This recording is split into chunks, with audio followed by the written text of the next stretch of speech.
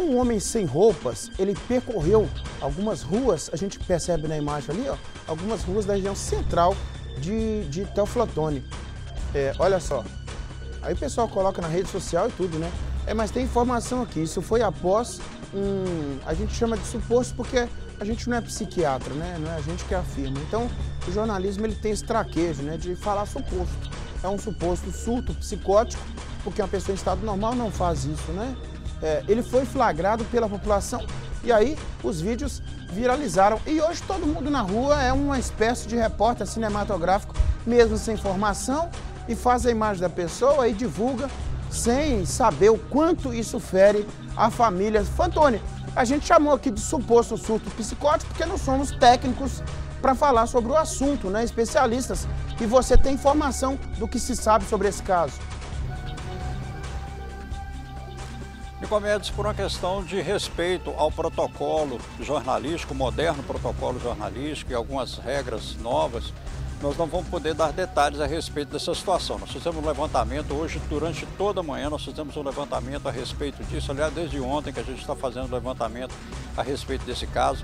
E eu gostaria de chamar a atenção da população, principalmente aqui em Teoflotone, a grau de audiência que o Balanço Geral tem, para que as pessoas ajudem esse cidadão e essa família porque as informações que nós temos é que é, trata-se de uma pessoa de 42 anos, ela tem formação em nível superior, é professor e, e passa há cerca de 10 anos está sob tratamento e a informação é que ele teve uma instabilidade, a gente tem que falar tecnicamente, por causa do, do, do, do, nosso protocolo, dos nossos manuais de jornalismo, às vezes as pessoas querem a informação, mas a gente tem uma limitação e por conta de uma instabilidade durante o tratamento dele, ele teve essa reação inesperada e saiu pelas ruas, pela rua central, principalmente a rua Padre Virgulino, na área central de Teoflotone, despido.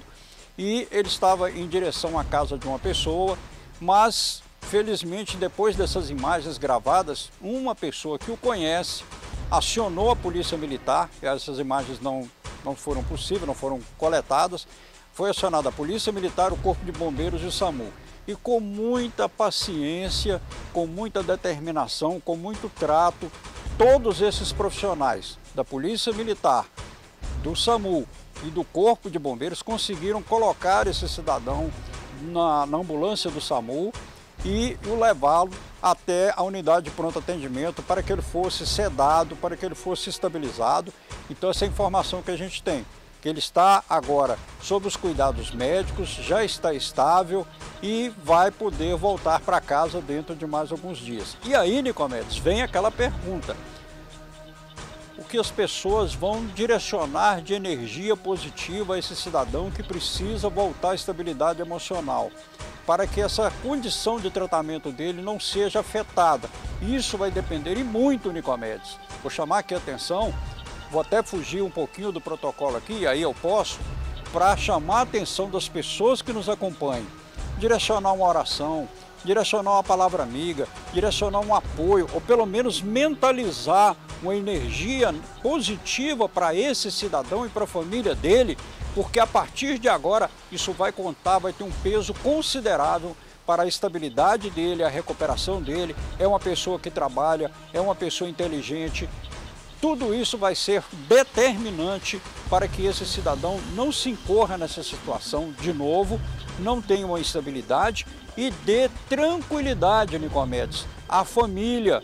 Isso tudo vai depender de cada um de nós, Nicomedes. São palavras que nos custam caro na modernidade, Fantoni. Afeto, carinho, ternura, altruísmo, que é considerar o outro superior a nós mesmos, né? Não tem mais essa irmandade, né?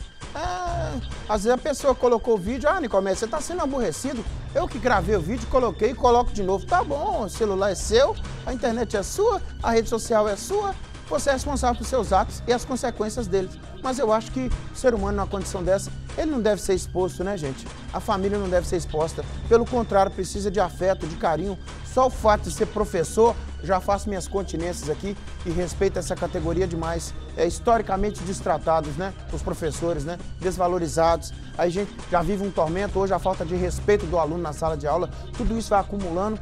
E depois o Fantoni ainda me conta que o homem, né, o professor aí, está em tratamento, né, em acompanhamento médico, e às vezes uma mudança de um, de um medicamento causa, ou uma outra coisa que os, os especialistas vão chamar de gatilho, que eu nem gosto desse nome, né, que gatilho tem a ver com acionar arma, né, é, então esse gatilho que é, aciona um, um, um, estado emocional ruim da pessoa e tem uma atitude é, exorbitante dessa aí, né, fora da curva, a pessoa em estado normal não faz isso. Obrigado, viu, Fontane, pela informação. É, eu quero agradecer você e Vitor Cui, que são fontes para mim, para mim, fontes imbatíveis em Teoflotone, né? Pela credibilidade e pelo zelo que vocês têm, né? No envio da imagem, na explicação do fato, porque a gente não está aqui para ficar ganhando audiência, com, é, colocando o ser humano numa condição de ridículo, não. Isso aqui é TV Leste, isso aqui é tradicional, isso aqui é pioneira. Aqui tem credibilidade, tem manual, Continue assim, Fantônio, trazendo o protocolo. Né? Se as pessoas querem uma coisa diferente, a rede social está aí para fazer. A gente vai continuar fazendo bom jornalismo e continuamos do lado do ser humano. Obrigado, Fantônio Peço e Vitor Pi. Não, as pessoas que eu já vi de comentários sobre esse fato, para com isso, gente. Para com isso, vamos tratar as pessoas como se fosse um ente querido da gente, né? Por favor, né?